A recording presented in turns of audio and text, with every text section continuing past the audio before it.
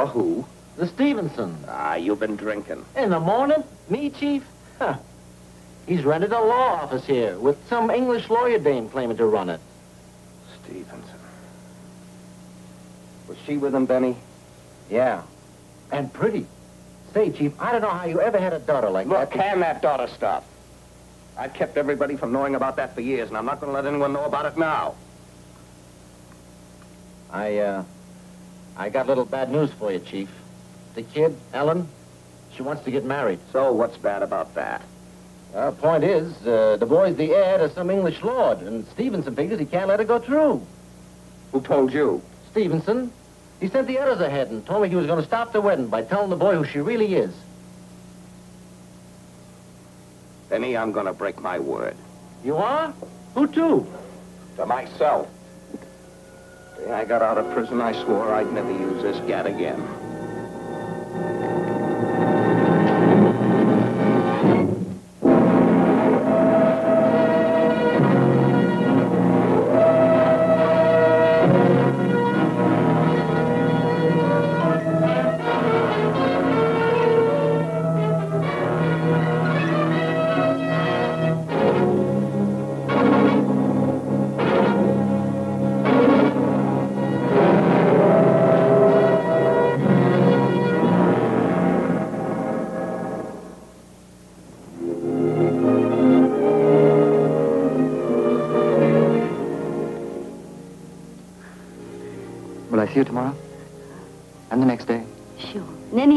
Happen to have free. Oh, Ellen, you're wonderful.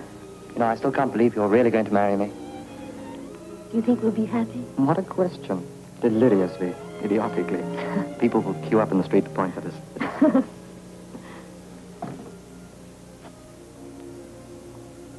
Tomorrow, darling.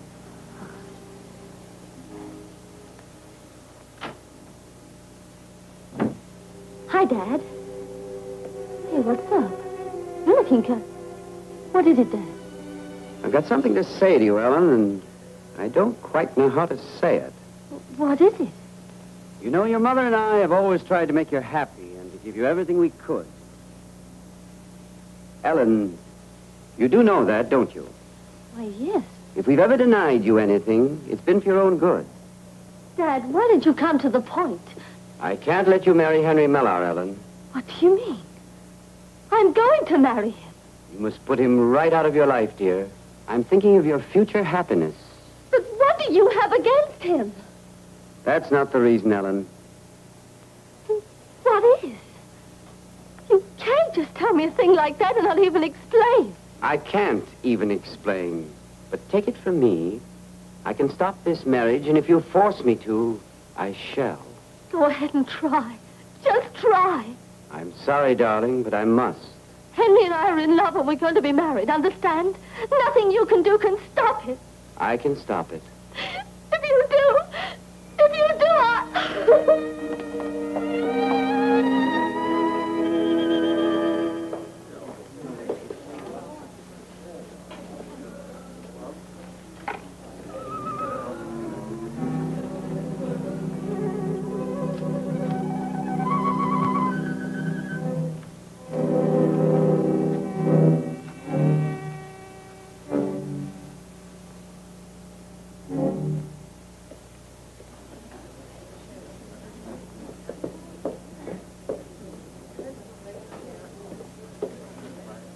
Charlie Chan.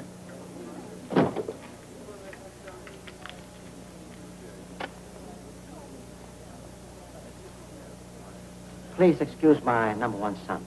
He always gets very nervous when he sees a pretty girl. Just giving her a light and a friendly smile, Pop. To observing eye, a fond father. Less friendly smile. More old Chinese wolf grin. Please excuse intrusion. Your room number is 719, Mr. Chan. It's an honor to have you with us, Mr. Chan. Oh, makes me very happy. Excuse me for asking, but are you in London on business? To do some detecting? No, but on most important business in civilized man's life. Pleasure. Apparently from indicator elevator not working. What's gone wrong, I wonder? We had the engineers looking it over yesterday. Unmistakable sound of pistol shot in confined area. Where's near state case? It's over there. Oh, he's detecting.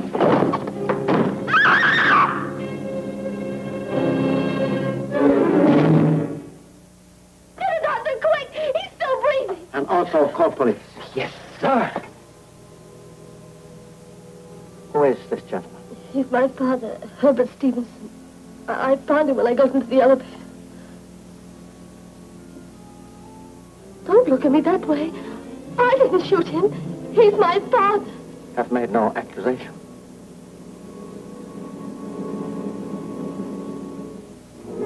Take this note. Also gun to Scotland Yard. Hurry. Yes, Pop.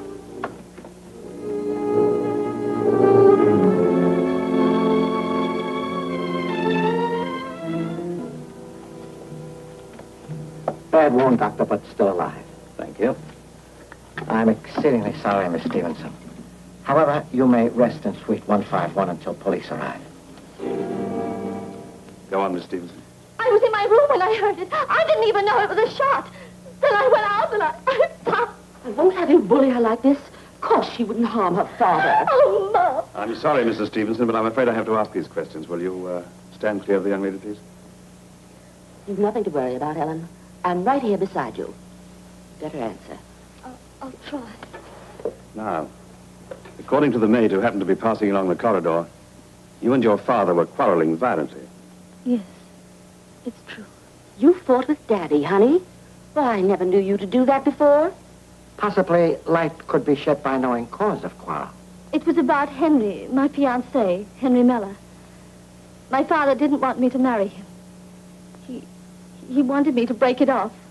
When I said no, he said he'd have to do it himself, and that he knew how to. Did your father produce any reason for not desiring marriage? No, he wouldn't. That's what made me so mad. He just kept saying he'd stop us marrying. Don't get any ideas there's anything wrong with Henry. He's a very nice young man. Good family, too. Why, he's Lord Mayor's heir. Please forgive me, but is perhaps boot on other leg something wrong with daughter? How dare you? Why, Ellen's good enough to marry anybody. I don't care who. Yes? Yes? I see. Good. Your husband has been taken to Queen's Hospital, Mrs. Stevenson. He's still unconscious, but they're doing all they can. I want to go to him now. I'm afraid there's nothing you can do, madam. He's having the best of care, but the doctors insist that he mustn't be disturbed. Surely my place is beside him. I need your help, Mrs. Stevenson. Don't you want to find out who tried to kill him? I don't know how I can help you. I was in my room, lying down. I, I get migraine badly. When I heard the gun go off, I never dreamt it was anything to do with Herbert. I know this is a very trying time for you, Mrs. Stevenson. But could you perhaps tell me when you last saw your husband? Well, let me see. I went to lie down around four. He was right here then, answering the mail with Lisa Blanchard. Who is this lady? Lisa? My husband's English law partner. She's going to open an office for him here eventually. Naturally, they work together very closely. When did this lady make departure? I haven't an idea, Mr. Chan. I, I took some pills, uh, things my doctor gives me for these headaches, and went straight off to sleep.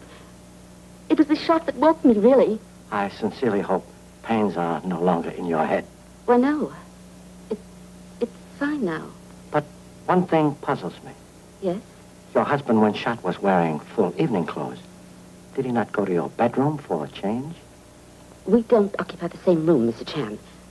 My husband is a very considerate man. He, he wants me to have absolute quiet when I get these dreadful headaches of mine.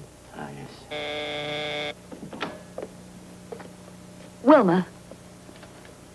I've just heard. I came right away. How is he? He's not... No, no, dear. But he's unconscious still. And they won't let me see him. And what makes you think you can prevent her from seeing her husband? Might I ask who are you? I'm Lisa Blanchard, Herbert Stevenson's partner. Now, please answer my question. I am not here to answer questions, miss. But in point of fact, the doctors have performed a very delicate brain operation and insist that no one is admitted. And now I'm going to ask some questions. Really? Well, as Mrs. Stevenson's lawyer, I refuse to allow her to submit to your questions at this moment. I have a small suggestion, please. Who is this man? I'm a retired detective named Charlie Chan. Charlie Chan. I'm sorry, Mr. Chan. I didn't realize. Few questions answered now might prevent arrest of unfortunate victim's daughter. Lisa, they think I did it. I found him, you see. They must be crazy. She adores her father. Don't worry, Pet. They won't arrest you. They wouldn't be stupid enough. But you better cooperate, I suppose. And Inspector, no signed statements until I say so. You're too kind. Who is it?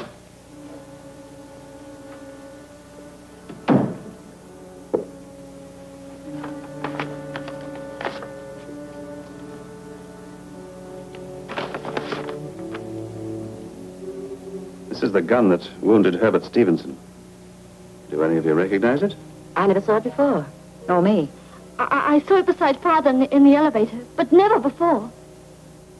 Did you handle it? I, I picked it up, sure. I, I don't know why. Instinctive, I guess. But I didn't shoot Dad. I'm afraid I must ask you to accompany me to Scotland Yard, Miss Stevenson. You're arresting her? No, but should she refuse to come with me, I have the power to do so. Before you make a complete fool of yourself, why don't you find out who Herbert was expecting here at 7 o'clock? Who? I don't know, but he was as edgy as a cat on hot bricks about whoever it was. Mrs. Stevenson, do you know who was coming to visit your husband? Please, information might be very important. Yes, I knew. It was Nate Pelletier. You are certain? Know this fellow, Charlie? Yes, indeed, Inspector. And I find call a strange company for a respectable legal gentleman. Pelletier was well-known racketeer in America some years ago, and humble self had part in securing his arrest and deportation. You sure did, Charlie. You sure did. Yeah. But I don't hold any grudge. You were just doing your job. Sorry about coming in the back way, folks. But I'm kind of allergic to guys in blue uniforms. There's a heap of them out front. Well, Mr. Pelletier, long time no see. But your unexpected visit might prove most opportune.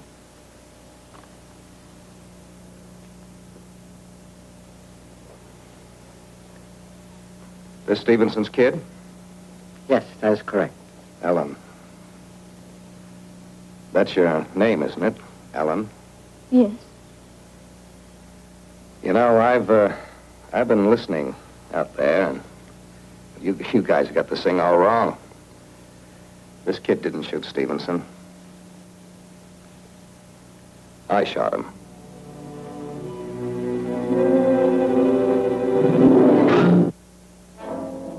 Like finding real chicken in cafeteria soup, your confession is most surprising. May I ask your motive for shooting? Racketeers don't usually need a motive for murder. However, would like answer to same. Stevenson was blackmailing me. I don't believe it. And reason for blackmail? Well, he was the guy who worked out the commutation of my sentence years ago. But he held back some facts about my income tax, which could have sent me straight back in again. And demanded payment from you for keeping silent about same. He bled me white. So I wrote his name on a slug. Okay, pal. I'm ready when you are. Sorry I hurt your father, kid. Guess the only guy I ever really hurt in my life was your father.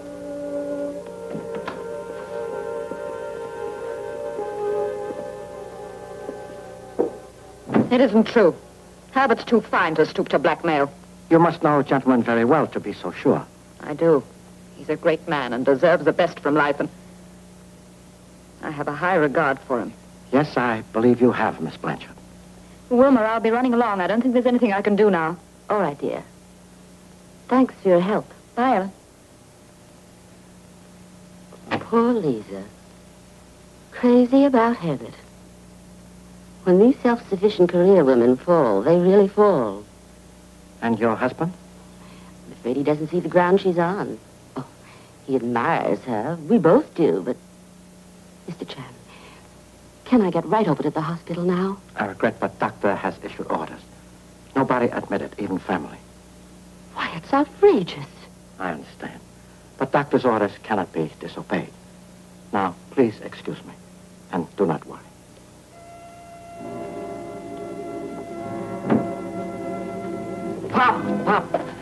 Sorry it took so long. Oh, uh, little Chinese girl you saw in lobby, hmm? No, seriously. There's no license for that gun in England. Oh? In that case, we will go to room. I must write cable for you to send immediately to America. Sure. But is it true that they arrested a guy called Pelletier for the shooting? Quite correct. It is? Well, then why bother with the gun anymore? Number one son should remember old saying about inadvisability of hanging dog merely because he has bad name. Well, here's to a quick, neat job, Charlie. Now, what are you grinning at? Wasn't it a quick, neat job? Unfortunately, cablegram just arrived from New York. Has dropped big monkey wrench in machinery. Firearm license issued to Lisa Blanchard, 364 Madison Avenue, New York. By heck, that was the gun that the shooting was done with. Exactly. I think maybe we want a word with Miss Lisa Blanchard. Now. What right have you got to come busting in here at this hour? Sorry, miss, but we've got our duty to do and a few questions to ask. Unless, of course, you'd prefer to come down to the yard. No, I wouldn't. What questions? I understood you to say that you'd never seen this gun before. Well, I... And yet a license was issued last year in New York under your name, Miss Blanchard. Perhaps you'd care to explain. I'm sorry, it is mine. But I had nothing to do with the shooting, I swear it. I kept it here in this drawer. It was there a few days ago. I saw it. Someone must have stolen it. I couldn't believe my eyes when you produced it and said it was the gun that... that... I was scared to say it was mine. I see. I swear I'm telling the truth.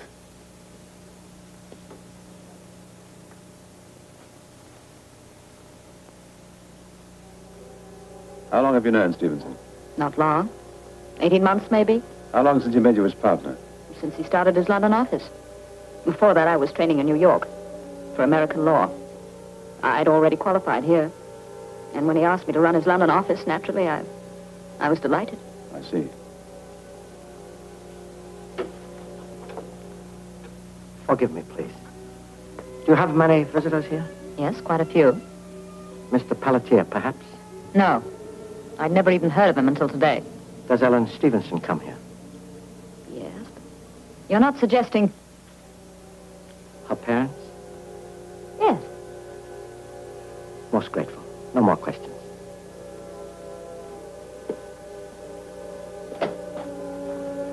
Mr. Chan, how is he? They wouldn't tell me anything at the hospital. Condition most serious, Miss Blanchard. Could I possibly see him? Unfortunately, no one permitted, not even family. Perhaps later.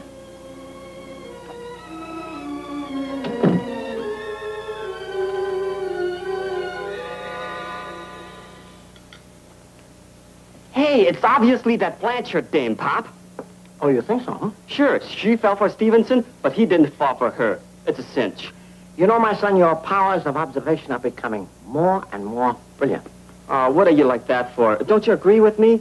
Mm, Maybe so, but Miss Blanchard left before shooting. Yeah, that's what she said. No, Dorman said. He got her a cab Oh. Where are you going? to visit most charming young lady. Well, let me go with you. No, no. Alone. Oh. I can't understand why they still won't let me see him, Mr. Chan. I'm his wife, after all. And we've always been so close, But I understand your unfortunate husband is not yet conscious. so they tell me. Just the same, my place is beside him. Don't you think so, Mr. Chan? Yes, I have always considered the sight of a loved one most beneficial to sick persons. I knew you'd think that, Mr. Chan. Can't you make that stodgy inspector person let me see Herbert? I might do, perhaps, in return for your confirmation of very important fact. What fact? That Ellen is not daughter of you and your husband at all. But How did you know? Simple law of heredity. You and your husband have blue eyes, Ellen has brown eyes. Very rare for two persons with blue eyes to have brown-eyed child. Well, I never knew that.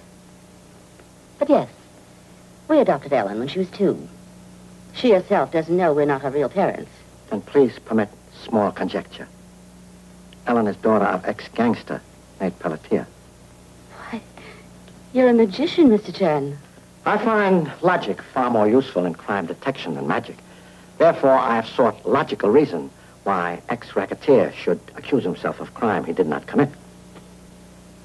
But I'm not so sure he didn't do it, Mr. Chan. Indeed. He'd threatened my husband, you know. Because Herbert was going to tell Ellen's fiancé about her birth. Thank you very much. But, Mr. Chan, what about your promise? As agreed, I shall endeavor to arrange for you to see your husband. Do your very best. Don't you realize when he recovers his senses, If I'm by his side, he may be able to tell me who did this terrible thing. I assure you this realization is very present in my mind. Thank you again. Uh, yes, Inspector. While taking a cooling shower, I had a very good idea. Would appreciate if you would grant Mrs. Stevenson's request to visit sick husband. Yes. I shall explain when we meet. Thank you very much, Inspector. Say, what was all that about? You will learn in due course. Meanwhile, I need your help, my son. Sure, anything. What can I do? First of all, listen. Tonight,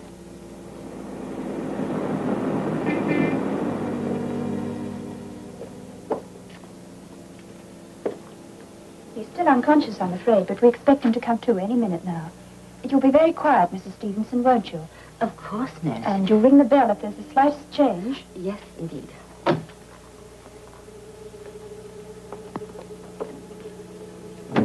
Herbert. Poor darling. Your poor head. Waking up. No, darling. No. You mustn't wake up. Ever.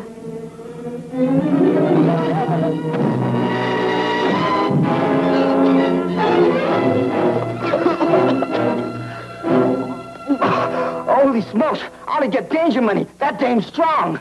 it is said hell hath no fury like a woman scorned. Your husband meant to leave you, did he not? Yes. After all these years. After all we've been through. Lisa Blanchard? Lisa. How could I fight against her? So young, so brilliant, so everything he wanted. I couldn't bear to lose him. So you stole her gun to make us think she killed him. When that failed, you tried to paint the case against Pelletier even blacker. But Pelletier did not threaten your husband. He had no chance to. Your unpleasant task, Inspector. Wilma Stevenson, it is my duty to arrest you for the murder of your husband, Herbert Stevenson. Murder. Yes, madam, your husband died without regaining consciousness.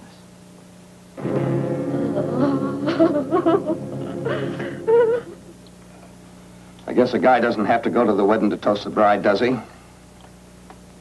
Say, how did she look anyway? Boy, she was dreamy.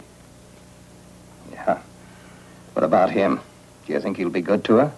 I didn't look at him much. Uh, but he's okay, I guess. Well, all I can say is he'd better be good to her. Thank you. Now, Mr. Pelletier, I can safely say young man will be very good husband to much loved bride. Well, here's to my kid, bless her. Now, who the heck can that be? Very simple to open door and find out. Yeah, sure. Can we come in? In my country is very nice saying that beautiful woman becomes thousandfold more beautiful when she wears jewel of kindness. Thank you for coming. But I really wanted to, Mr. Chan. Mr. Chan told me everything. I wanted to come and say thank you for what you tried to do for me. And for you to meet your son-in-law, who wants to meet you very much. My father, darling. I'm glad to know you, sir.